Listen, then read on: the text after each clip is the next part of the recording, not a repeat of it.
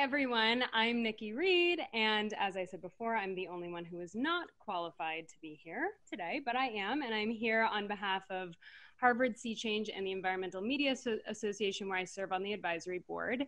Um, this is part of a series called Reel Science Actors Asking Experts, and I will be serving as the actor, not the expert, in which we aim to give our viewers the opportunity to hear directly from scientists on important climate, environmental, and public health issues.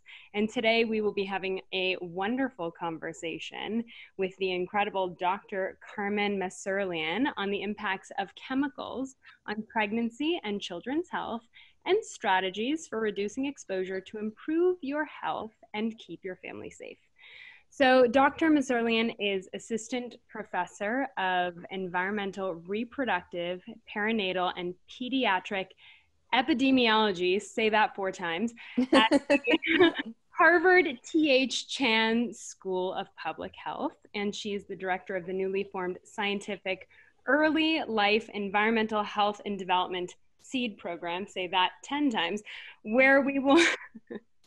uh, which we will talk more about in our interview. Um, she is a passionate and curious scientist committed to understanding how the world around us impacts human reproductive health and development. I'm curious as well, so I'm glad we're talking about this. And her research at the Harvard Chan School of Public Health is focused on examining the extent to which preconception and prenatal exposures to endocrine disrupting chemicals love this sentence, affect a couple's ability to conceive, maintain pregnancy, and deliver healthy babies. So clearly, um, there's a lot to cover. And also on this call with us is Sarah Wright Olsen, who is my dear friend, but also very much an expert here as well, and appropriately placed. She is an actress, a mama, an entrepreneur, a business owner, co founder of Bayo, and also co founder of Your Zen Mama, and now author. So I'm uh, I'm in good company today, and I will now just mute myself and let everyone else speak. no way! Don't do that. Welcome, please. Thank you so much for um for joining today. Thank you, thank you.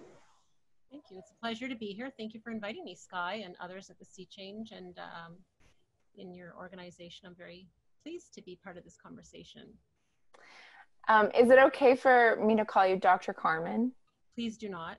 what do you want me to call you? Just call me I love, I love. Oh, great. Okay, wonderful. Um, I'm so excited to be on here with you both.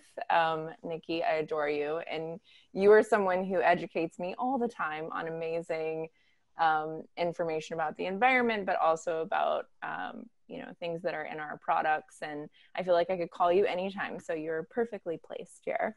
Um, and uh, and carmen i'm so excited to jump into this with you. Um, can you tell us a little bit about your background and what got you interested in studying the intersection of environment exposures and health?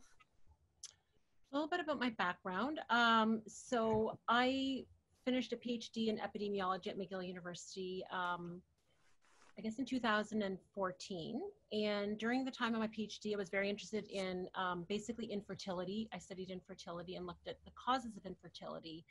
And initially, I really wanted to study um, how environmental factors impacted miscarriage risk. And at the time of my PhD project, um, the study that I wanted to pursue was not um, ripe for analysis yet. And so I jumped on this new um, project with my mentor at the time, Olga Basso, um, where we looked at, um, I got very involved in an infertility clinic setting, clinical setting, where I did clinical research in that setting. Um, but what really struck me from, from many, many years is how conditions, conditions that we have very little control of in our environment typically um, impact our health um, and impact especially our, our fertility potential, um, and our pregnancy and how little we kind of knew about how those environmental factors actually do affect us on a day-to-day basis. And so I um, decided to pursue a, P, a postdoc at Harvard Chan School of Public Health um, at the time with um, a mentor, Russ Hauser, who ran this large study called the EARTH Study, the Environment and Reproductive Health Study, that allowed me to really dive deep into um, specific chemicals that are very pervasive in our environment that we that we are exposed to every day each and every one of us are and how those chemicals impact um, a woman's chance of getting pregnant a couple's chance of getting pregnant the success of that pregnancy and um, and the health of the pregnancy and the health of the child as it ages and, and matures into a into a child and into an adult. Um, so yeah so that's sort of um, maybe a long-winded version of why and what my background is. But um, yeah, so since then, I've really been fascinated by this field. Um, um, I think there's so much to to learn and to understand. Um, I think that so little is known and so little information is provided to women, women like yourselves and myself as well, and how to empower ourselves to be able to have more control over the things that we're exposed to in our everyday environment and to understand sort of um, how we might be able to modify some of those exposures, how we could change our exposures um, to try to reduce our risk if possible. But to get to that, we need to understand what are the chemicals that affect our reproductive health. Mm. I would love to talk for a second about, well, there's a, just so you know where I'm going here with this, is um, I do think we should, I definitely want to cover what those chemicals are. And I also would love to talk to you about what the intersection is between, I mean, obviously you study uh, you know, perinatal and reproductive health as it relates to these chemicals. Um, and the obstacles that women face trying or families face trying to get pregnant. But also there's a real intersection that i feel i'm sure an overlap that i'm sure really fascinates you too between all of those things and overall health um, in that i think that we're probably exposed to things on a daily basis that are not necessarily in products that we use although i'm sure they are but also just in our general environment. And I would love to talk about what those things are because some we can control and then some we can't. And so I think, like, let's talk about what we can control and then what we can't control. And then also, in a moment, just before I forget, I would love to talk about, as someone who also was on a fertility journey, why we don't talk about these things as it relates to men and only women, because I know that when my when my husband and I were trying to conceive early on, there was never any talk about what could possibly be wrong with uh, male reproductive health and how they play a role in this too. So, those are great points for someone who felt that she wasn't available or present for this. I told you she was being very modest. Being very modest. those, those, are really awesome points that I think um, if we can get into it a little bit. Um, so some of the challenges that I face in my research and things that I'm pursuing in my work, um, really you captured on specifically. So the first one is around you know, in terms of empowering women, empowering couples, empowering families, um, we can get really bogged down into the things that we can't control and that can make us really crazy and stressed out. And, and we shouldn't really focus on those things. We should really try to um, choose products and behaviors and lifestyles that we do have some control over um, and really focus our energy on identifying what those things are understanding what those things are and trying to make choices that could allow our families to have um, sort of healthier exposures on a day-to-day basis. But other things that you can't really mitigate we shouldn't get too stressed out over we can't really change. And so those are the things that i really try not to worry about myself as a as a mom and of, of two children and um, and a, and a woman. Um, i try not to get too worried about the things that I don't really have much control over, but where I do have a lot of control over, like nutrition and choices around food, for example, I know I could have, a, you know, I can make a choice around that. And so I try to pick things that I know have a higher nutrient content or a lower pesticide um, um, load. Um, and those kinds of decisions, I think, are are helpful to people. But in addition to that, we need to consider, you know, you and I and Nikki um, hopefully Sky too. She's not a student anymore. Um, we could, you know, we have probably the means to be able to make those kinds of choices, purchase products um, that um, are safer alternatives. Um, but for a large part of the population, that's not possible. And so one of the things I'd like to see is, um, you know, having more equity around those kinds of issues and being able to not make it, you know, not make it um, um, a marketplace for those that are privileged and educated and white, um, but a mm-hmm. marketplace for everyone. That everyone has a right to have a safe, um, safe home, a safe, um, safe food source, safe water source, because water is becoming a really big issue in drinking water right now that's been filtered. So these kinds of things i think are you know there's like there's the individual level issue that we're talking about you and me and how we take care of our families. But my work also looks at sort of the group of people the population and how we can sort of um, change trajectories on a population level. So reducing the exposure across across you know across groups of people so that we can decrease the burden of disease in, in a group of women or a group of mothers or a group of children a group of fathers. Um, and so that's sort of the public health angle that i really try to take in, in the work that i do also. Um, does your worker field study region and connecting region to like you're saying on a macro level mm-hmm. that you look at the public in general um, in sort of groups and see what their exposure level is or how they're affected does your work look at specific regions or do you see a correlation between certain areas and what those chemicals are in those areas Look, I feel like I'm going very Erin Brockovich on you right okay, okay, I'm very Erin Brockovich, but water is a good question. So water is something that we do see a lot of regional differences on, and we could use the example of the Flint um, uh, crisis that happened a few years back um, regarding the contamination of their water um, with lead. And you know these things are di- different, diff- definitely gradi- radiated by socioeconomic status, regional differences in terms of where your house is located relative to other things, for example, factories and um, industries. Um, and so your water could be affected by what's around your environment. So I live in a nice back, you know, a nice backyard. Someone else could have a factory in their backyard. Um, and so, you know, these kinds of issues bother me as a person, um, as a as someone who works in public health and epidemiologist, to know that there's um, opportunity to intervene among those people, individuals that are most at risk. And those children are extremely at risk because they have a compounded problem. So they have, you know, fewer opportunities on all fronts from the time they're born onwards. And in fact, um, even from before they were born, they've had um, in their mom's pregnancy or in their grandmother's pregnancy um, risk factors that could play into that child's health. And so those kinds of things are the kinds of questions that um, I wouldn't say keep me up at night, but I do work on them very late at night. Um, things that I work on and things that I'm concerned about and that I'd like to see, um, you know, climate change and the issues around that taken more seriously, at least um, in the United States and other countries as well, where we really need to care for all people equally and that each person has a right to safe water, safe environment, clean air, um, and that we shouldn't have gradients of um, of exposure based on SES, although that's a little utopic, a little idealistic, but at the same time, I think those are goals that we should take and, and take seriously in public health. Mm. Yeah.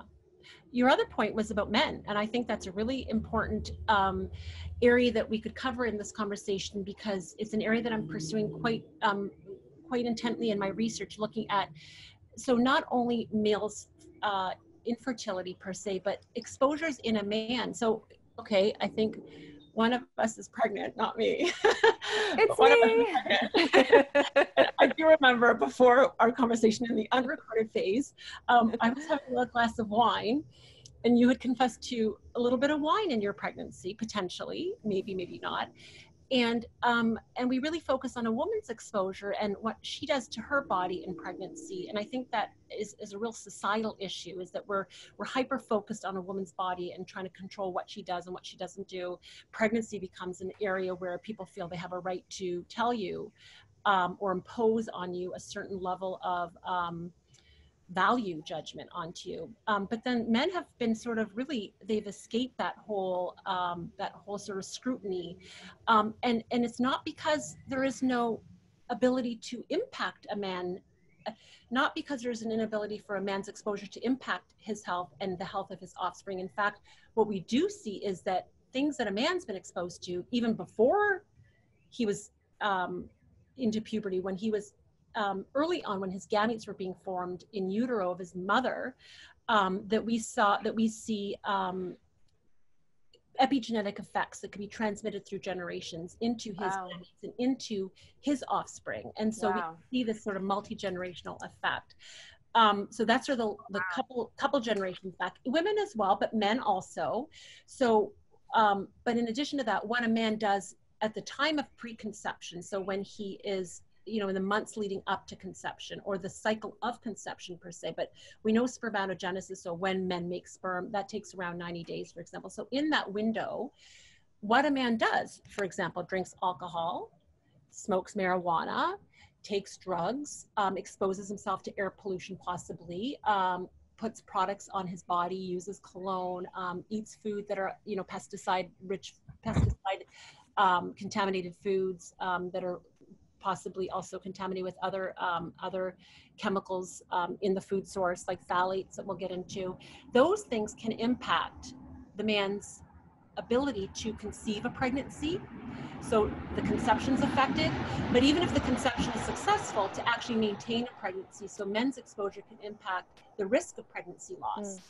a man's exposure can impact the weight of a baby a man's exposure can impact how your baby develops as an infant, the kinds of milestones, you know, the kind of things that we look at from a neurological, neuro, um, neurobehavioral point of view. And so, wow. yes, women have been sort of focused on, but we really have lacked the knowledge, the insight, the impetus to sort of study men. And so that's something that I'm also pursuing because I think we we have an opportunity to understand more what those risks are, but also intervene. So pregnancy is a couple thing. It's not a woman thing. It takes two to have a baby. And there's two periods of exposure in the man and the woman.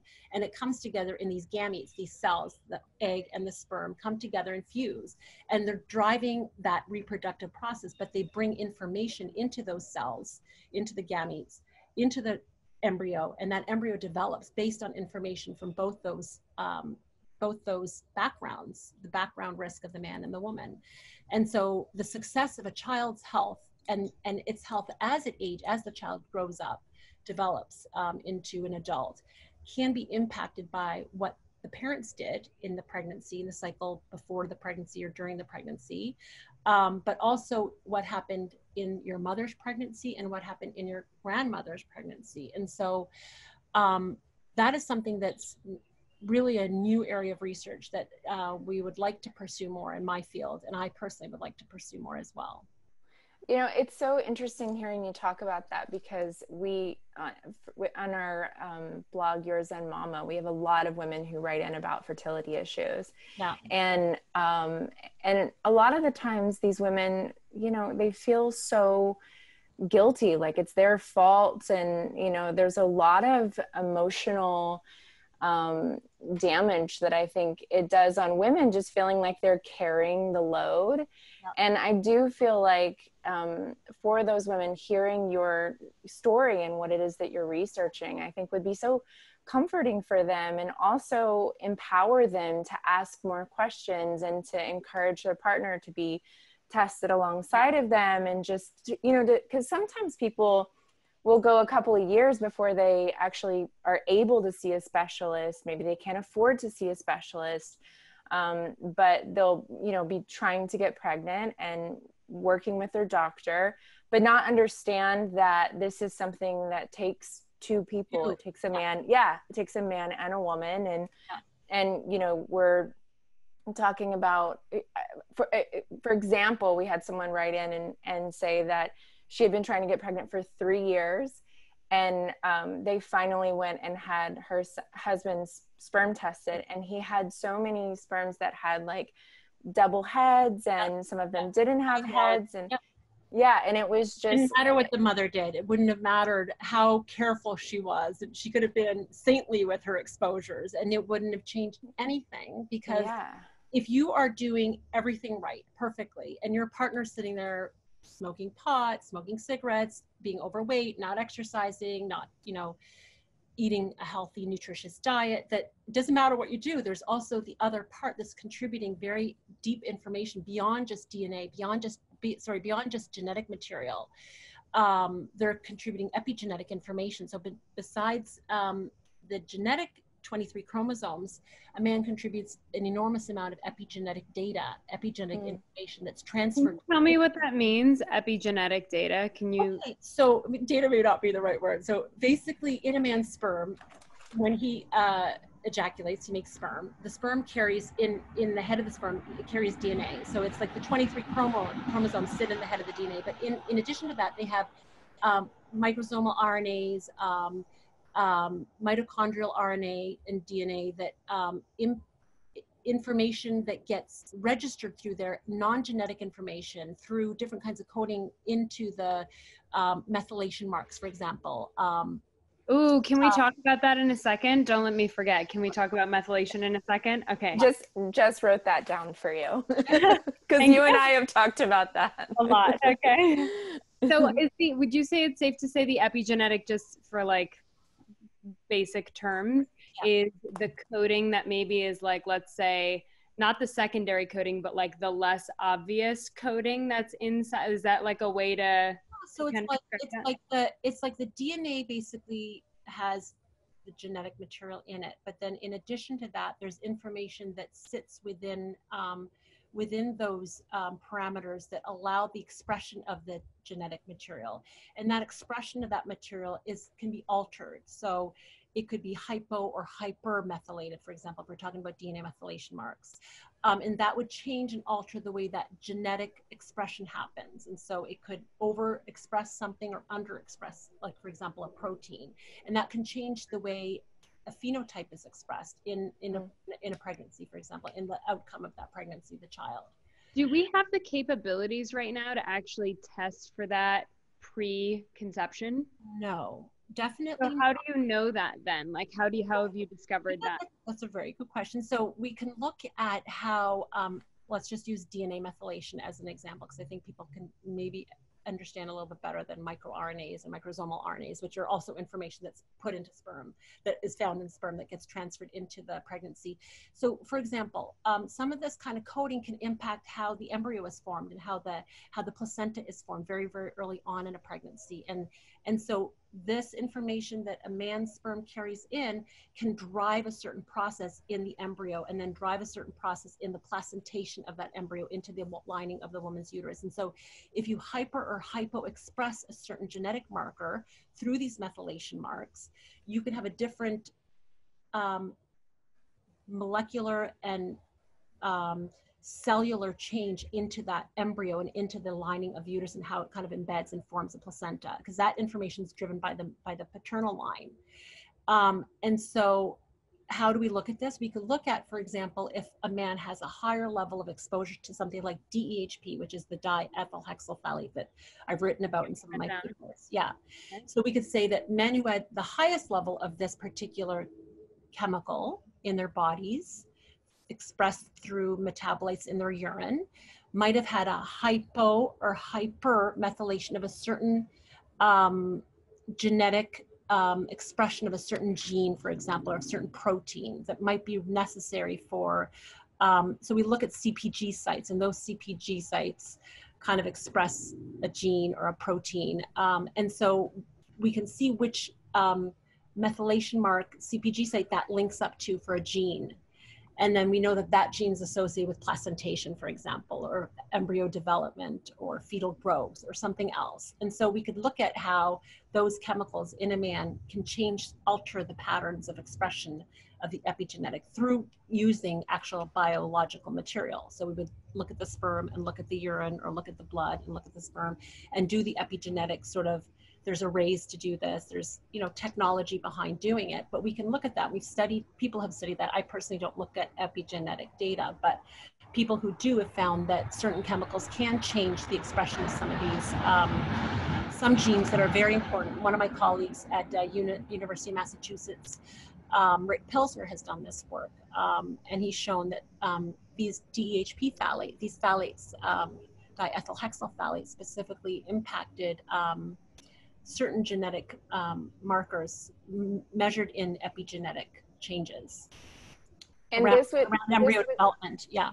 this would be something that either the man is exposed to or is carrying like be, in his lifetime or you're talking about this is something that This is specifically around. carried Yeah. So we'll tell you a little bit about. So I'll, let me just give you a little background on like the chemical kind of world. Okay. Although the chemical world is vast, Can't cover everything. It's like it's there's tens of thousands, hundreds of thousands of chemicals that are that are manufactured, that are that are um, synthetic, that we're exposed to in various forms based on where we live, what we eat, what we drink, what we put on our bodies, what we breathe. Um, there's different sources of exposure. There's different routes of exposure. So sources could be like, you know, my water is or my wine is a source in this particular case. So I might drink this and you know be exposed to pesticides from the grapes, for example. Um, or I might drink this water and I might be exposed to chlorine, for example, through chlorination of water through um, water filtration systems that the city has, which we know some of my recent work shows that chlorination in water can impact um, birth weight and the size of your baby, for example. Um, so those are sources. Food is a source, chemical products are a source.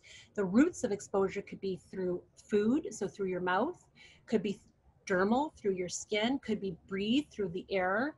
Um, these are the these are the routes of exposure that we can be in contact with. And all these things change based on what you do every day right? So it's all behavior driven. And um, again i caution the behavior part because my behaviors might be impacted by my environment and someone else's is impacted by their environment but there's so many layers as to why i live here and someone else lives somewhere else um, and so I always want to say that, you know, we're, we, I feel like we're a very privileged kind of group and I, we don't speak for, you know, I don't speak, um, my situation or your situation does not speak for the general population of women out in the United States of America. And I really say that with a lot of, um, humanity to what I'm trying to convey, which is we need to be mindful of what we're doing, but we need to always protect the group of people that um, are even more vulnerable than we are in this situation. We have a choice. I can buy organic wine if I want it. This is not organic wine, but I could. Um, but other people can't. And so, yeah. So my point is, so these routes of exposure, so the chemical world. So there's there's groups of classes of chemicals. There's thousands of different chemicals in the universe of where we live, but we kind of group them into two big kind of bins. The first bin are the ones that we call non-pervasive chemicals, chemicals that are very short-lived. They go in and out of our bodies within hours, minutes, maybe a day. Phthalates are one of these chemicals that we call non-persistent chemicals. They're short-lived. They last seven to 12 hours. Their half-life is seven to 12 hours. BPA, you've probably heard of, also a very short-lived chemical. Parabens, short-lived chemicals. Um, triclosan, short-lived chemical. Um, Even if they're short-lived, isn't there something to be said for long-term exposure to short-lived chemicals? I was going to ask oh, that too. Yeah. Lord, I must say, ask, ask question. Isn't there? Yeah. I, yeah. So what I was going to say, but um, you very astutely picked up on it, which is chronic daily exposure becomes, you know, becomes. Mm almost long term. So if I'm drinking the same milk every day and the same cereal every day and the same juice every day, um, I might have these um, exposures that go up and down throughout the day based on what I'm eating, but I'm always eating the same things and I might be in a high exposure level all the time because of the kinds of things that I do every day. And usually diet is something that doesn't change a lot, for example, and diet is a big source of exposure to phthalates like DHP. Um, but you're right, chronic daily exposure, um, even if it's episodic, even if you only eat these things three times a day, could make you um, have kind of a, a, baseline that's relatively high over time. So if you average your exposure over 24 hours or a week, you might be in the high level versus someone else who engages in different kinds of patterns of eating might be always at a lower baseline, but they're kind of static over time if you look at an average over a week. So the short-lived ones, we still have to be very, very concerned about because some of these chemicals we know are really reproductive toxic. Like they're very toxic to the reproductive system, both male and female. And they also what we consider epigenetic toxic. So they affect epigenetic markers in egg and sperm, for example, through um, through these kinds of mechanisms that I mentioned before. We also know that some of these chemicals are um, are um, obesogenic. So, um, for example, BPA is considered obesogenic. That means that they could drive certain metabolic processes in the direction towards um, towards increasing your risk for obesity, for example, uh, or increasing your child's risk for obesity through your exposure in your pregnancy. And so your offspring could then have a higher risk of obesity because of your exposure during during the period of time when you were pregnant. And depends on the window in pregnancy in which you're exposed. So yeah, very good. So that's the short-lived. The long-term chemicals they could stay in our body for a long time. Some of them two years, three years, four years, five years, 10 years. Things like perfluorinated chemicals have very long half lives. Perfluorinated chemicals are things that we find in stain resistant products, in Teflon products, in um, any anything that's pretty much stain resistant would have a perfluorinated chemical in it. Um, and anything that's coated also has uh, perfluorinated chemicals. But we also know that through different kinds of practices over time that water has been really highly contaminated with perfluorinated chemicals because of um, sites um, in which are remember I talked about factories like I could have a big factory somewhere in my backyard right. Teflon for example or 3M and my water could be taken from a site that comes to my home but might be processed in an area that has exposure to this factory and so my water is then contaminated and millions of people across the U.S. have water that's contaminated with these chemicals. Um, is it fair to ask you, or is it too much work to ask you, like after this call as a follow up, if you could just do like a little cheat sheet and give us each like a sheet of paper that says, in your water, you should be testing for these 10 things. In your beauty products or home products, you should be looking yeah. for these 10 things. Like, do you have cheat sheets? Do you have post- cheat sheets, but I can tell you what I do. I'll tell you what I do, which is gets back to your point at the beginning, which was you can't control everything and i don't make myself i am very knowledgeable about these things but i my stress levels are very low over it personally i try not to get too worked up over stuff but i'm very careful with what i put in my home like i have zero plastic in my kitchen zero i have i don't use cellophane i've never used cellophane i don't use parchment paper i don't use i'm very and i'm not like one of these what's wrong with parchment paper well, it's it's wet. It's it's got a coating on it that makes it. Um, oh, yeah, it does not pass the no coating test. You're right. Okay. Exactly. So anything that's got a coating. So basically, what you want to think about is nature, and you want to be as close to nature as you possibly can, right? So you want to think about something that's as less, as least processed and least altered as possible to be exposed to on your everyday. So in my kitchen, I don't use a lot of stuff and i'm not someone who uses like a lot of paper towels um, i just don't consume a lot that's just I was raised in this type of home and I just kind of kept up with it my whole life. My mom, we never had a single can in our home, and she is not an educated person around these matters. She just grew up in a country in Greece where everything was sourced from wholesome ingredients and you just don't buy canned stuff. Um, if she was going to make lentil soup, she would, you know, use dried lentils. If she was going to make hummus, she would use um, chickpeas that are whole. So I've just always had that as a culture, cultural practice. So it wasn't that hard for me to adopt and keep that stuff up. That said, um, you know, my milk is in a carton, my milk is in a plastic container. Um, and the reason why that is, which I'll get to, around these DHP chemicals. Um, so a lot of the sources, a lot, a lot of the chemicals that I'm concerned about that I've mentioned in my papers that you've that you've mentioned before we recorded this conversation are things where our food is contaminated before it even gets to our table. So even before I pour it into my glass, as the wine was being made, or as the olive oil was being produced, or as the butter was being manufactured, the milk was being processed, it has to pass through a series of different types of processing steps.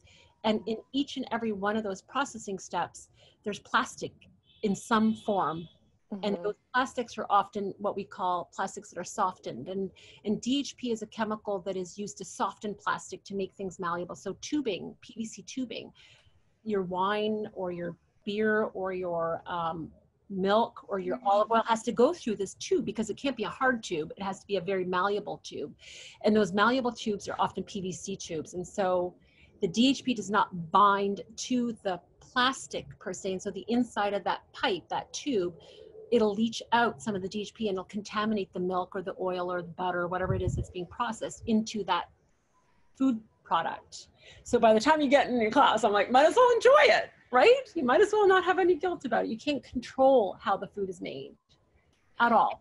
I yeah. Oh, sorry, Sarah. You you. Yeah. No, no, no. no. I was just I was just gonna say that I just you know it's I I love hearing you talk about this and I find it so fascinating um, when we were writing our book, I remember writing, we wrote a whole chapter on how you should, you know, look for, um, you know, if you can, like farmers market, uh, vegetables, organic vegetables. You know, you want to try to avoid chemicals that would be harmful to you during pregnancy, um, avoiding pesticides. Like, and this got torn apart by um, the publisher, by the lawyer, and you know, they were just saying you can't suggest that pesticides are necessarily and this was published in australia so maybe it's just different because it's australia but um, that pesticides are so harmful during pregnancy because there hasn't been enough studies. And I was like, there are studies everywhere. I'm literally reading the studies that are saying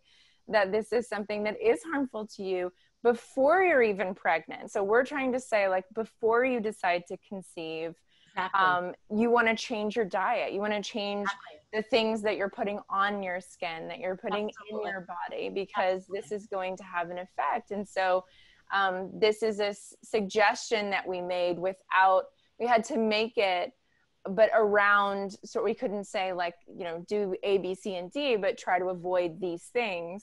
Um, but i just i think it's going to be so great for people to hear you talk about this because um, knowing how many chemicals environmentally there are out there and then also that we're exposed to that we can't control like what you're saying that i'm going to buy this organic milk but it's also been through a plastic pipe so it's going to have leaching yeah. in it totally caveat though the pesticide issue i really yes. am a firm believer in and i yes i I say like 99% of anything I put in my kitchen, unless there's none and Whole Foods replaces it or something without knowledge, is organic because I do yeah. really believe that pesticides are understudied. We do know that they're harmful. We don't we need more data. We need to understand better how they impact health, reproductive health, children's health and development. But um, we do know that conventional food has a higher load of these chemicals in them, has mm-hmm.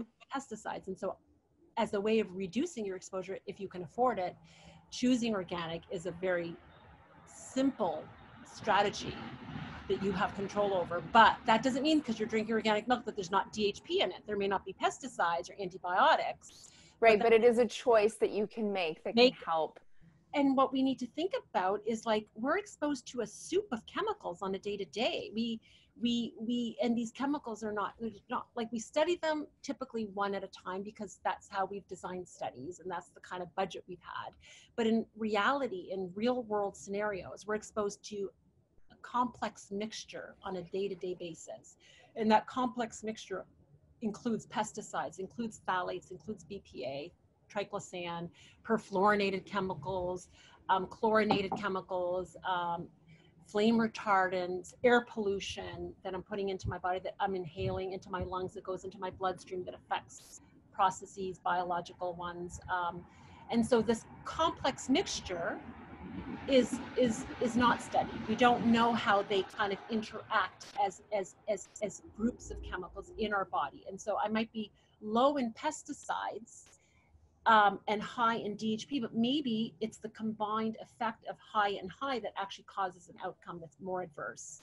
And so if I can reduce my exposure in things that I can control, like pesticides, I feel like that's something I can control. I have the means to choose organic foods.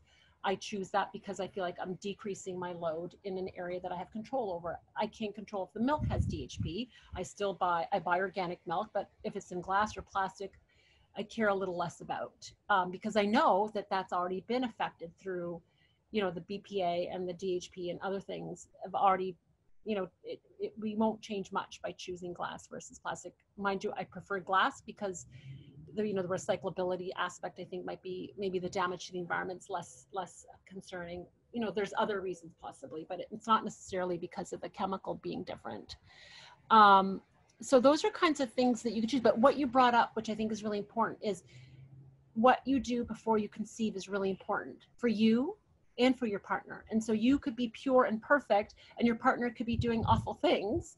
Well, that's not going to help you have a healthy pregnancy. You have an impact, but so does he. And so engaging in couple based behavior change in the preconception period is something that I'm studying and hope to have. Um, uh, uh, I'm submitting an application for a for a, a study to actually look at how we can intervene in couples to reduce exposure and to see whether or not it actually does impact their outcome. So we would do a couple based intervention to get couples to decrease exposure and then see if their time to pregnancy is different or their risk of miscarriage is different or their risk of preterm birth is different, for example. But I really want to, key message is reproduction is a couple based activity. Um, couple based biological processes um, and we need to keep in mind that the behavior and the lifestyle factors that go into a baby making process is impacted by what your you and your partner both uh, do. And also we didn't get into this but what my mom did and what my grandmother did also impacts my health now and can impact my child's health and my children's children's health down the line which is something that's really kind of hard to grasp but something that we really need to think about when we're conceiving that your baby right now will have a baby and those the, the genetic material for your baby's baby is in you right now. Mm-hmm. your grandchild's genetic material is in your body presently which is crazy it's, right? so yeah, you and your husband did or your partner did to conceive that child can impact your grandchild's health. Um, so it's a responsibility that we have towards our our future generation to be mindful of that. Um, and i hope to yeah hope, hope to get more knowledge around how men's health is impacted and how to include men in the dialogue in the narrative in the conversation to be to understand what they need to know and want to know and how they feel they could change um, their behavior what kinds of things they would be willing to try to do that could help them um, decrease their overall burden of exposure in their bodies well, it starts with knowledge and yeah. education, but it also ultimately ends up in the hands of our ability to test for those things and understand what those environmental factors are through a system of testing that has to be offered and available, which I think we're all uh, globally experiencing the repercussions of not having available testing. Um, but I think it's you know definitely a um, an issue of lack of education and lack of being comfortable within that conversation as well and mm-hmm. then testing and understanding what that is but also i just wanted to bring up because i was having this thought when you were talking yeah. you know the marketplace kind of caters to a type of like gender specific consumption and a mm-hmm. model surrounding that like i think that if we have convinced the women of the world that this is their fault. We can also create products and, um, you know, monetize on that insecurity and shame culture that we've created. Whereas with men, I see. Mm. an issue surrounding the monetization of that because I can see the marketplace going like, mm, I don't know if we're going to create a tremendous amount of product and then you know revenue based on like i don't know if men are going to go out and start spending on all the things to fix and tweak their bodies in the way that women are and i think that that's like a real thing we should be talking about is that we capitalize on that shame culture. Yeah, very true very very astute observation i must say nikki again. Um, that is really neat. So yeah no you're right there is a market and there is a i mean i think that's part part of the um broader reason kind of factors, socio-political, cultural, economic factors that have driven the market around women's bodies being so obsessed upon and hyper focused upon and pregnancy just magnifies that. Now it's like you and your baby and how dare you harm the unborn. Um, and um, and women do feel a sensitivity to that. Um, this shaming of women for causing autism or for causing um, developmental delays of some type or making your baby be born too early or whatever it happens to be is always put back on the mom to feel like she screwed something up. What did I do? Did I drink too much? Did I eat too much? Did I um, not exercise? Did I smoke? Was it my, you know, was it what I did when I was a teenager? Um, was it the, you know, the abortion that I had when I was 15? Um, and so we have this guilt and shame that um, I think is something that's been exploited by industry to be able to sell and to create an mm-hmm. an image of a woman that should be pure and, and perfect during pregnancy, which is just uh, a burden that women carry that I think is very unfair, and one that I do think you're right that men will not share in that, and the marketplace will not find a spot where men will. I'm not sure. Some very clever marketing people might be able to figure out a way of getting in there, but if it's tied into some sort of machoism, possibly. Oh, one thing that I do think is an important factor is is this idea that these chemicals impact testosterone.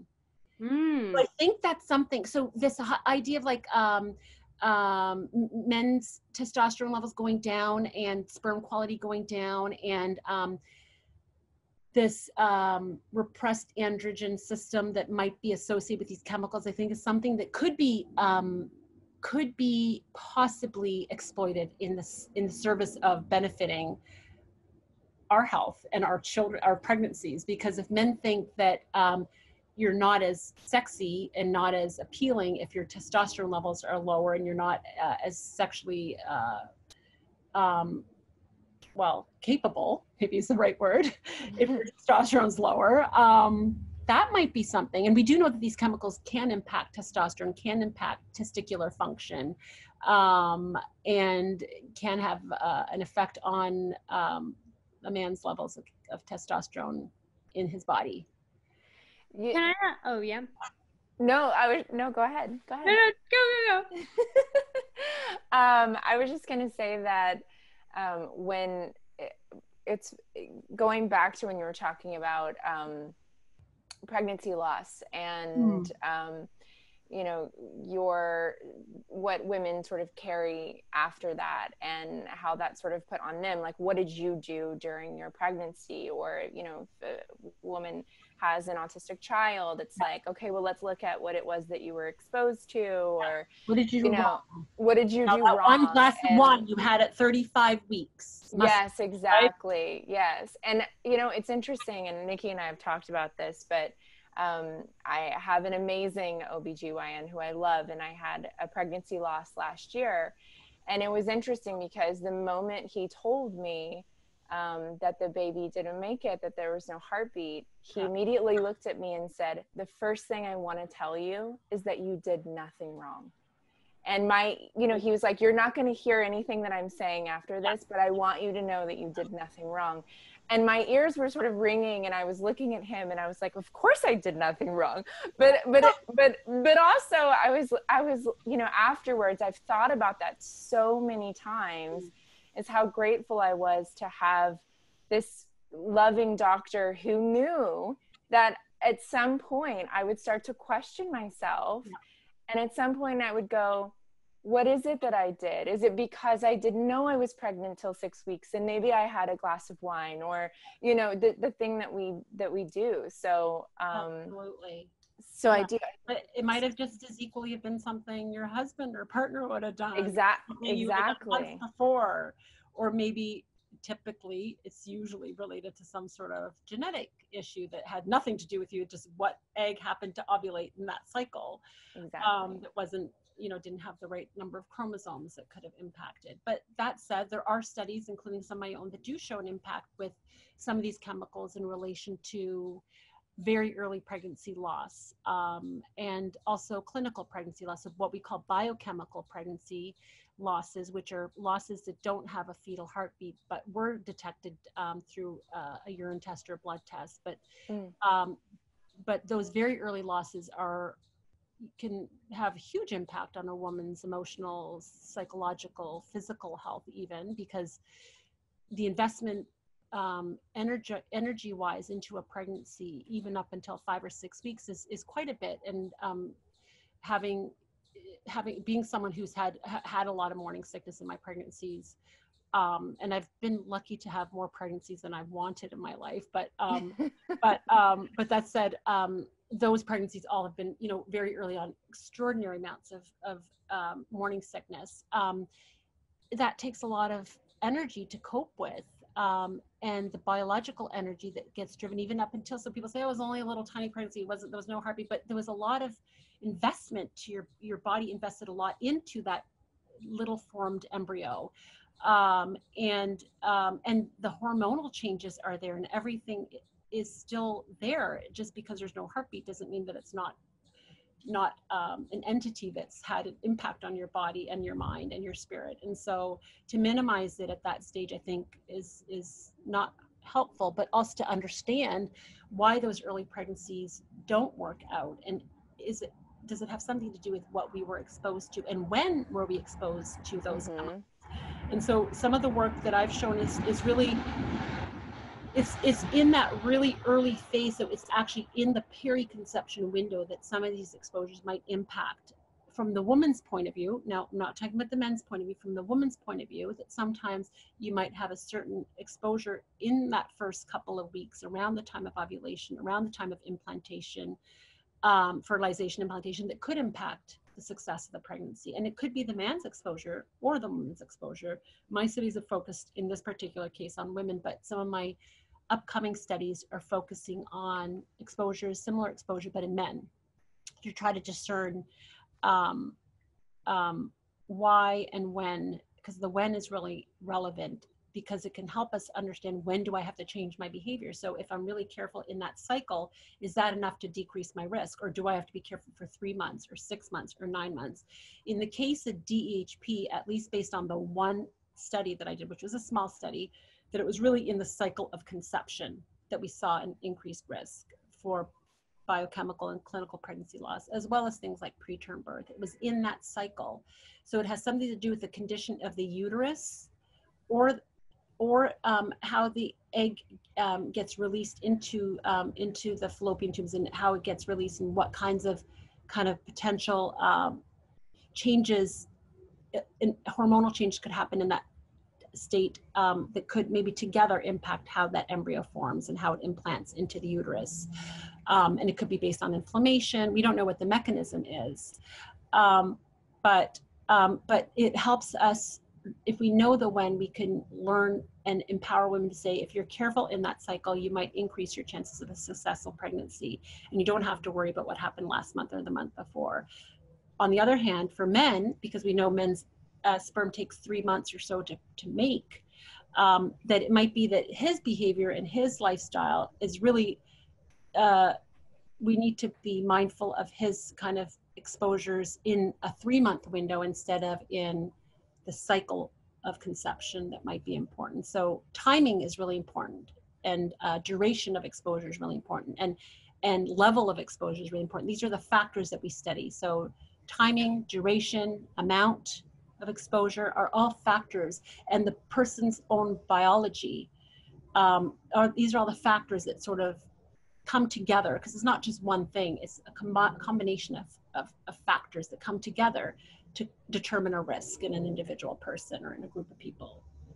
Do you know what's so interesting? I'm sitting here, I haven't yet spoken about this, um, not for any reason other than, uh, you know, I hold it close to me and um, maybe I wasn't ready or maybe now's the right time. But I also had a pregnancy loss last year. And, um, I found out I was pregnant actually when Sarah and I were together. but that's how close we are. But as I listen to you talk, I'm realizing as educated as I feel I am on this topic, and by that I mean obviously only relatively, but still very familiar with it. I'm realizing as I replay this in my head, which is why I've been sitting here quiet too, that never once did it dawn on me that it had anything to do with anything except me. And I didn't even know that I had put that on myself until you were talking. I just remember when I found out that the baby didn't make it. And when I was going through that, that I, I kept going, oh, maybe it's because when we were all together last summer, Sarah and Eric and her family and I and our, my family, I was like, maybe it's because I w- we were waking up and doing like sprints in the morning, or maybe it's because we were drinking all this wine because I had no idea that I was pregnant. And I, I did until I guess maybe until now, I actually did only replay things that I had potentially done wrong. So I think it's interesting. Yes, it, it's, it's yes, because it's it's it's a it becomes who we identify with. It's that we as women, I think, take on all of the reproductive health burden, um, all of the burden for our children, their health, their well-being, their mental health, their physical health, their spiritual health, their uh, emotional health. That it's it's all become the the domain of women and the responsibility of women, the burden of women, the the um, what is called the the the the work the bird the work that's that's unaccounted for that comes and takes up a big part of your brain right it's like it, it inhabits a lot of us and so yeah it's very hard to question because you just assume naturally that it's you and nobody else that was involved in making that baby. Um, Can I ask you a, a, question about, you know, we've talked a lot about the things that do for for most people, myself included, feel um, kind of difficult to digest, right? Like a lot of chemicals and names that we're not necessarily accustomed to hearing or saying. Um, we don't even know how to find them, and then we're talking about like not freaking out over what we can or can't control, but yet so much of this does feel out of our control aside from the topic of organic you know choosing organic food and avoiding pesticides which is a great um, semi easy route but i just wanted to talk about factors that we actually control that i think no one is really talking about not that a lot of people are talking about like pvc and like DEHP. But I think one thing that no one is talking about, which we should, is what do you feel or have you studied the effects of uh, I have a few things written down here. Number one, radiation from cell phones and 5G. Whoa, like to talk about that affecting or disrupting our endocrine system, like I think this is where all of our money should be going. We should be researching this heavily. Um, and that'll be a topic in and of itself. Yep. Number two, our own personal body chemicals like stress releases chemicals in our bodies. So let's like, go internal for a second too, because that's something we can kind of control ish. Again, debatable. Um, and then cell phone towers, which I know is connected to radiation and 5G, but I just want to talk about that. And then also airplane travel, because I'm, you know, my partner travels. Yeah. I don't travel so much anymore. I made a conscious choice not to. And my partner travels sometimes three, four, five days a week. Sometimes he's on five airplanes in a week. And I've always thought about, you know, what that does to reproductive health yeah. too. Yeah. Uh, even during COVID, traveling on a plane, no, no, no, no, no. no. COVID, I just for his job in life. maybe. Yeah. Um, possibly lots of time around. Um, um, okay, so our, I think let's start with stress because I think that's something that all all women face on some level. I think, um, especially if you're a mom with young children and you're tired and fatigued and stressed and try to manage your career.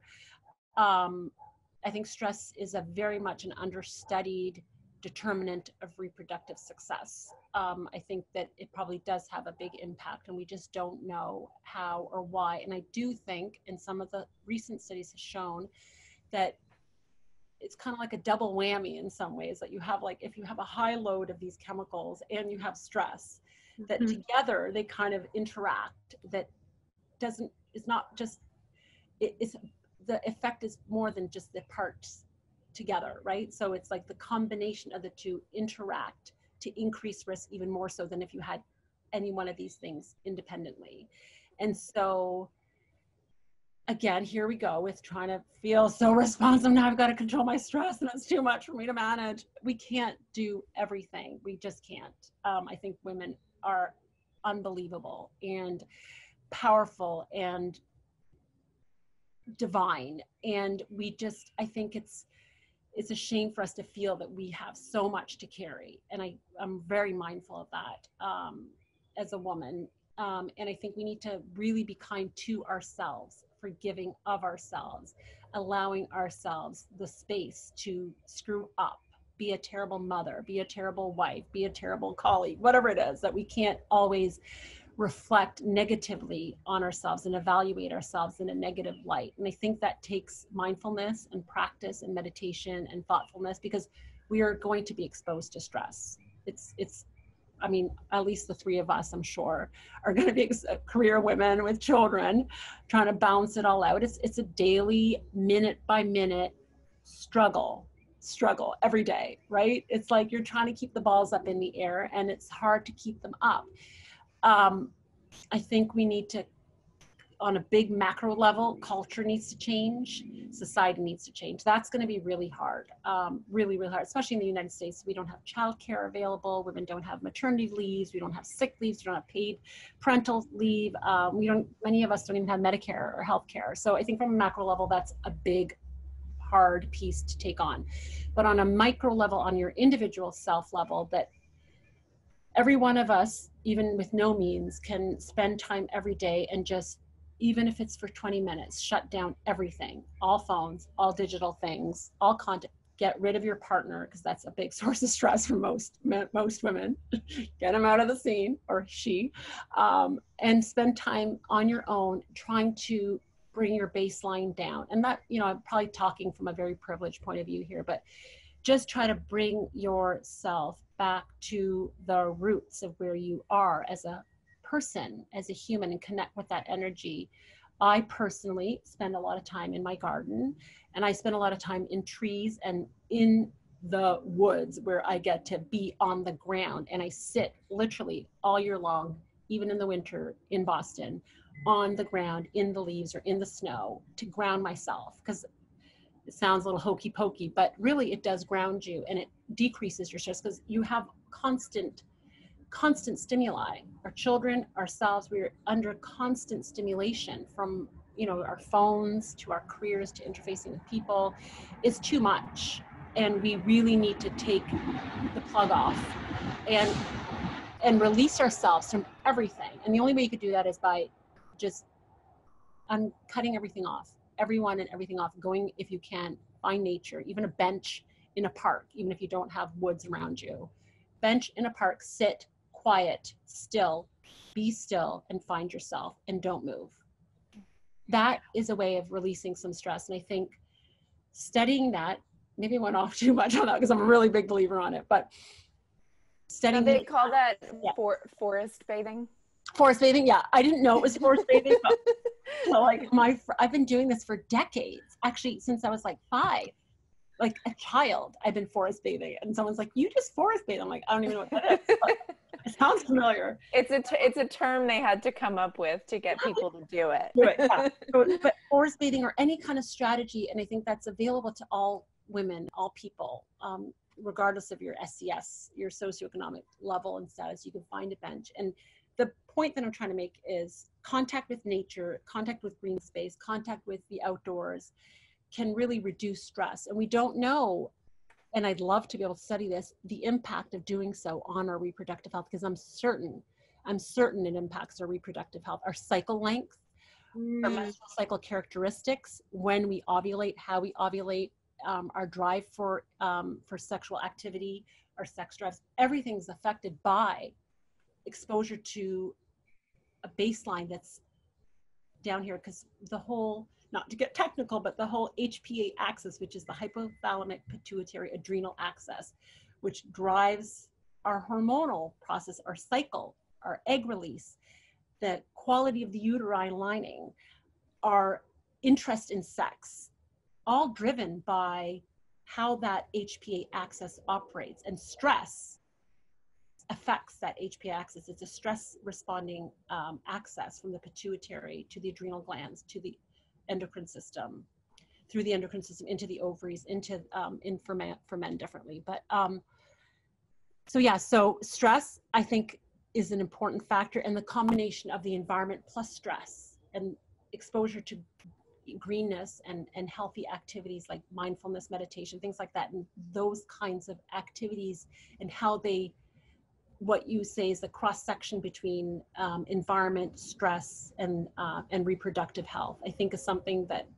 is really unstudied, something that I would like to pursue myself, and we need to learn more. And to piggyback on that, because one thing that does not go yeah. well with forest bathing is yeah. Instagramming and cell phone use. So, uh, can we talk? Don't do it.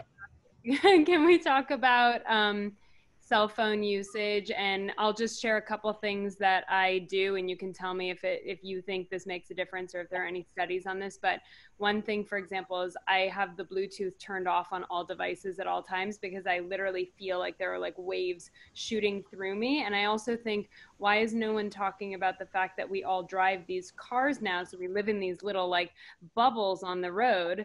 Obviously, again, pre-COVID, but uh, and we're just shooting Bluetooth through all cars that were made, you know, post the Bluetooth invention. We're driving in these like little microwaves all day long. Yeah. So very good, very um, nice observation because, um, in fact, these are things that we don't know a lot about, but we do know that there is a potential for them to impact reproductive health, mental health, physical health, all health, but we're focusing a little bit more on reproductive health in this conversation.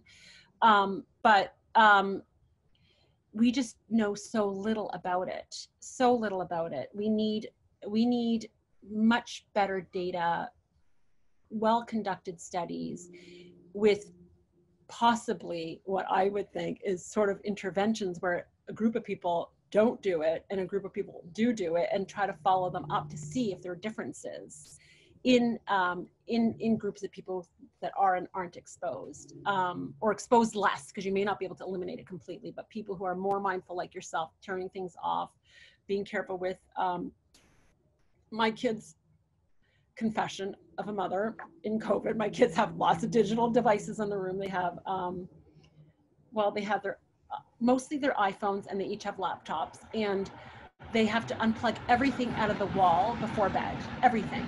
There's nothing electrical going on in their rooms at bed after they go to bed or around bedtime. They have to and, and is there evidence for that? No.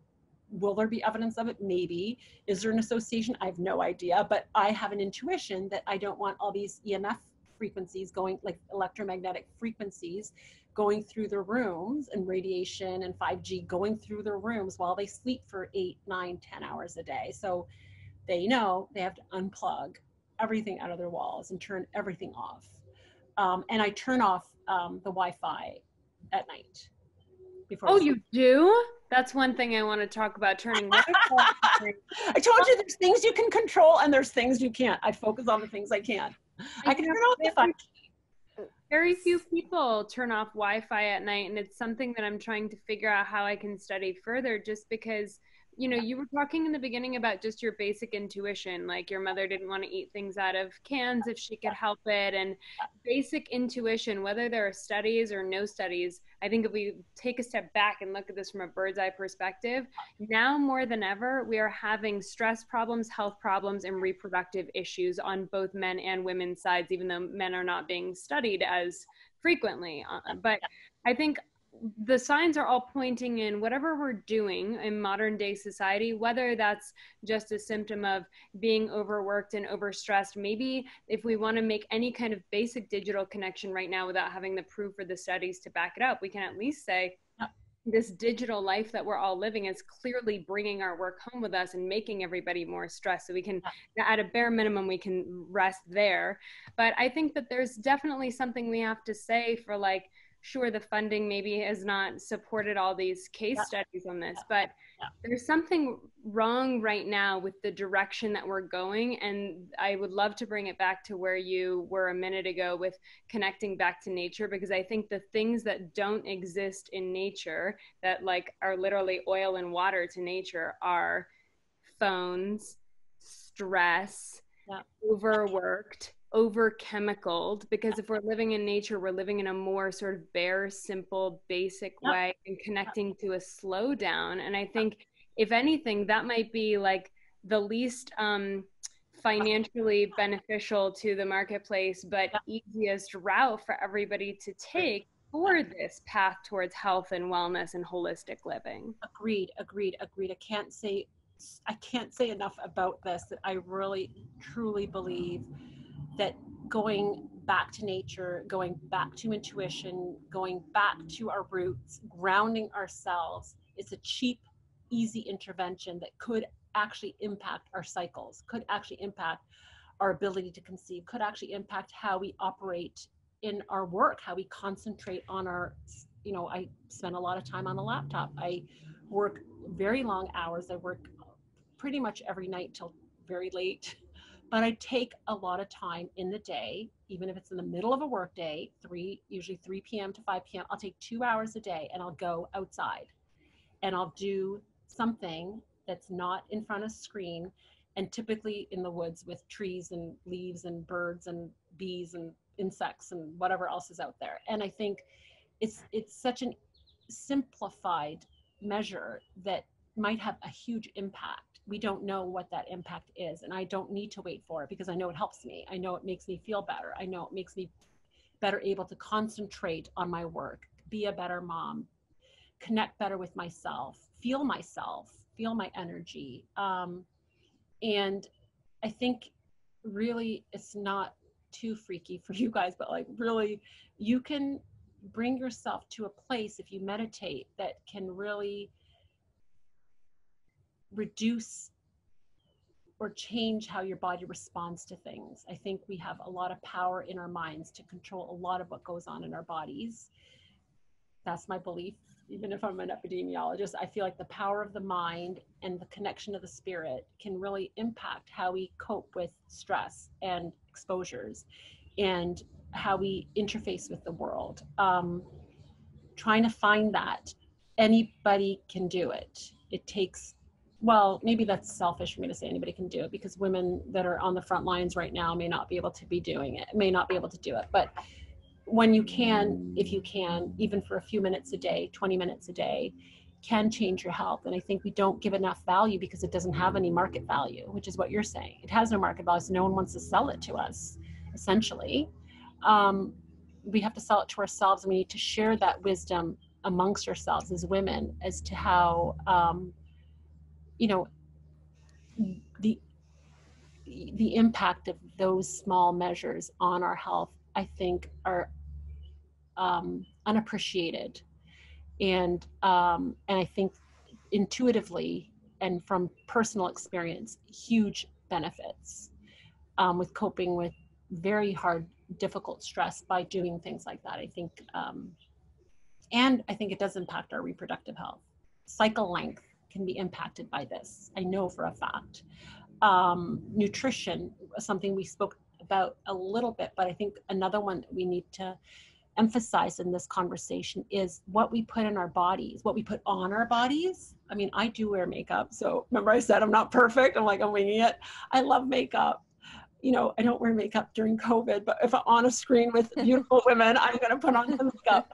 And I, you know, I buy Chanel makeup, right? It's not super clean makeup, right? now I just gave Chanel a little endorsement, but I, you know, I, I buy stuff that's not super good because it works well, right? It sticks better, or it, makes you feel good because it has a nice little, you know, package on it. Um, you know, so that said, I think I do that, but at the same time, you know, I had, I had like for lunch, I had beets. I eat beets like three, four times a week. Um, I had a big salad. Um, I'm going to have fish and a huge kale salad tonight with hummus that I'm going to make myself. And this sounds like it's fancy and hard to do, but it's not. It takes doesn't take that much time to make good food. Um, yes, you have to have the means to buy fish and to buy kale and to buy beets. Um, but nutrition, I think, is something we have a huge ability to control and that I think has a very big impact on even mitigating for example, air pollution or phthalates or flame retardants, mitigating the effect of those chemicals in our body because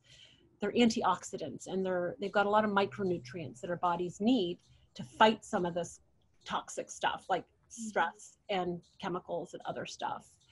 Um, and Sarah, I think you brought up the pesticide question with some of your um, some of your the women that were on um, your blog regarding pregnancy loss, and I think well, I think the pesticide thing is an issue that we have to be careful about. And I think we don't, we know, like you said, there's plenty of studies that show there's effects and we can impact our health by eating well.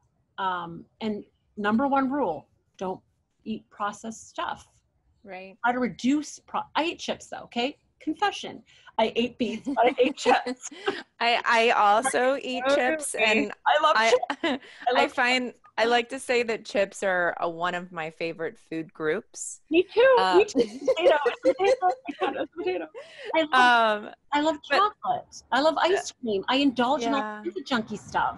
Yeah. Like like we're having ice cream. We're having like we're having coffee ice cream. We're gonna order delivery through DoorDash.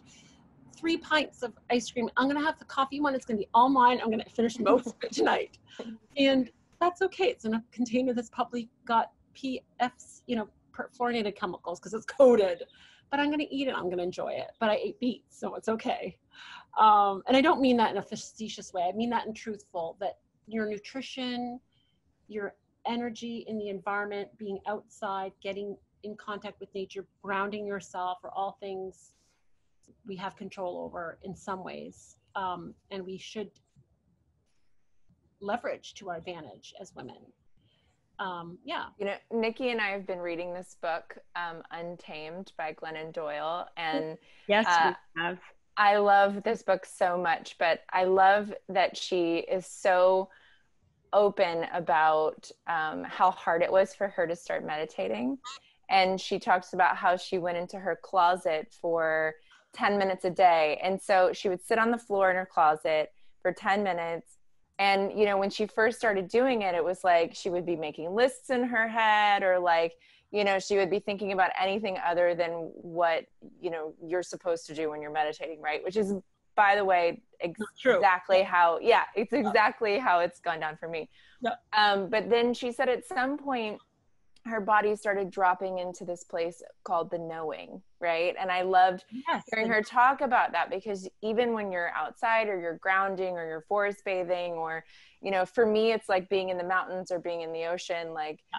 if I'm there, that's that's a place where my body feels the most grounded and where yeah. you know my stress is released and where I feel like I'm in my knowing. It's like I can really trust my yeah. instincts and where it is. Exactly my head is going. And so i love that description because you know even sitting down in your closet for 10 minutes a day if you just allow yourself the time to have that breath then you, you, that can be helpful. Yeah. Another thing we didn't talk about which i think relates to that is like this idea that women are selfish when they take the time right? Like you're being selfish you're taking 10 minutes away from your child's attention. Your child's mm-hmm. i've got a four, almost 14 year old and almost 11 year old. And you know what? They were fine with being left at times or being, you know, going on an iPhone or going on an iPad, um, even for hours during COVID. Um, they're going to be okay. You don't have that wisdom or that deep knowing when you're a young mom because you don't trust your instincts and your knowingness as well as you should. And I definitely was a mom that did worry about these things when they were little, but I think the most important um, part of of growing up a child relates to the energy and the the the love that you give to your child and the the the spirit that you give. And so even if you it's like same thing it's like there's a buffer you know they're exposed to crap screens technology other children other exposures to chemicals that you have no control over like your sofa that might have flame retardants on it but there's a buffer that you instill in them that you give to them and that's something that is there from you that you give that is priceless and also costs nothing. Um, and helping your child develop that buffer from birth onwards i think is something that everybody can do. And the point to this was back to the selfishness thing that you could take 10 minutes and say i need 10 minutes you need to respect mommy's time right now or if it's your partner. I need 20 minutes or an hour to go out to do x y or z. Um, and um, and that women often feel that they're being selfish or feeling they're not being a good mom when they do that. I think you're being a very good mom and very good to yourself and you need to take care of the cells in your body. I use this expression which is not my own but your body is the garden of your soul your body is the garden that you need to take care of and you need to nurture that garden by by giving it good energy good light good food grounding it. It's a garden. You need to nourish that garden. And if you're not nourishing it then it you're and i say this to my kids i've been saying it to them since they were little tiny kids. Um, you need to look after your body. And this is messaging you give to your children as you have little ones yourselves um, you need to protect your body. And I teach my kids about, I've been teaching them about nutrition since birth. Your body is your garden of your soul. You need to protect that body. You have this one body, you need to respect it and love it and care for it. And we give our body good food, and that good food helps us. And I tell my kids now, I'm like, you want to play on your computers? No problem. You better eat your vegetables because it provides a buffer to the to the 5G, for example. Possibly because it's an anti there's antioxidants and we know that there's oxidative stress in our cells when we expose ourselves to things like radiation and things like chemicals. And so it does actually provide cellular buffer for real. And i you know now they're older so i explain this to them. But um yeah i think messaging connecting and know the knowing part that you brought up i think is something that i, I think we need to have a book. Maybe you ladies should write it. A book about just connecting to ourselves and to nature and to the another piece we didn't get to, but very important that I wanted to talk about the wisdom and the and and the and the data essentially that's given to us from our ancestors. Truthfully, there's mm-hmm. data and information transmitted through generations that's brought into our bodies that provide us wisdom and knowing a knowingness about what's good and what's bad that we have erased over time in our society because we're exposed mm-hmm. to crap that just drowns our judgment drowns our instincts drowns our connection with that energy within ourselves it's also convenience too right like i mean yeah. just going back to what it is that your mother was doing and yeah. what it is that you set up in your kitchen it's yeah. like you know if it's easier to and cheaper to have um, plastics in your kitchen sometimes. It's easier to reach for a paper towel than it is to wash your you know like five towels maybe that you have or yeah. but there's a lot of convenience that's come into play over the years but actually if you bring it down to a very simplistic way of yeah. living then yeah. you're not only you're not harming yourself but also it's environmentally cleaner in general. You're not harming the environment. yeah your impact and your footprint is less and i think back to the kitchen, back to your home, back to your children. Simplified, simple, less is more idea, this idea that having less is actually having more, having less stuff. We don't need stuff to be happy. You can have the biggest, best house on the block and you're gonna have the same problems as you have when you have nothing. You know, that that our happiness and our joy and our contentment has nothing to do with the possessions that we have. In fact, they clutter our judgment, clutter our mind, clutter our instinct and our intuition.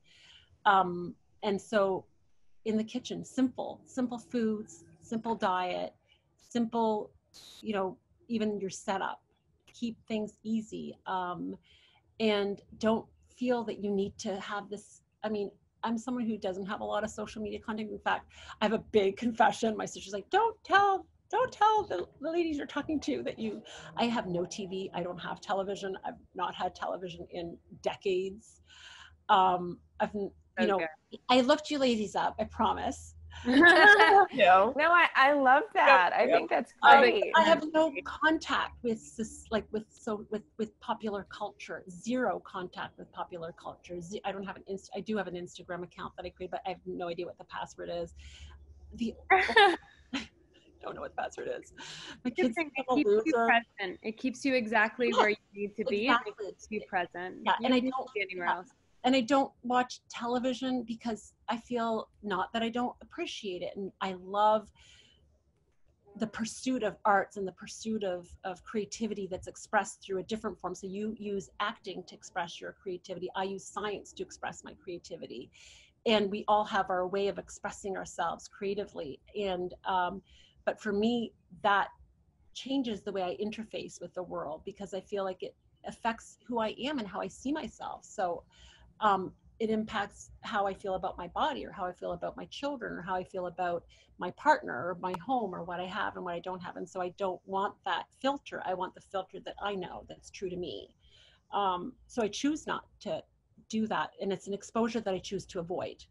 But you could choose something else that you choose to avoid that might be, you might go to church, for example, and that might be an exposure that you inherit and, and embody, that you practice um, going to church once a week physically before COVID. Um, and that might be an exposure that grounds you and brings you safety and brings you strength and the knowing, which I think is a nice word. Um, because we all know so much more than we give ourselves credit for. And that knowing is given to us, not just through our own bodies, but through generations that have been passed through us. I believe that and I feel it. I feel my grandmother. I feel my great grandmother. I've not met her or known her, but you have an energy there that you feel you're responsible for, that you need to transmit. Um, and you try to give that to your family, to your children. And I think it does provide a buffer to 5Gs and air pollution and you know the chemicals. Um, if it's real and if it's evidence based, I don't know. I would like to know at some point in my career, um, but I think they are important and ones that I think the future should um, be focused on. I think the post COVID era will really allow and force us to actually entertain this idea that less is more, that being indoors is not where we're meant to be, um, and that embracing nature and and and things that help us connect to the energy that's out there that we don't know or haven't experienced will be, I think, part of the post-COVID phase of our lives. And I hope that I hope that the marketplace embraces it and tries to sell it to us so that we can know that it, it has some longevity because without without the marketplace getting for, involved, I don't think the longevity of these things will will be there.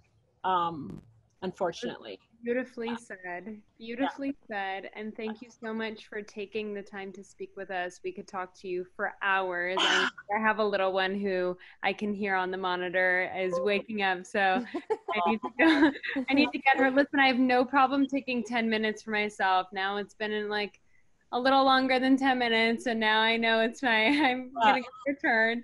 But um, thank you so very much. This was incredibly uh, educational and inspiring. And I feel, and I'm sure Sarah feels as well, like we have a ton of um, not only follow up questions, but uh, I think um, solution based, actionable steps that we can take to maybe bringing some of this to our collective audience yeah. further. So, thank you. Um, this was really wonderful.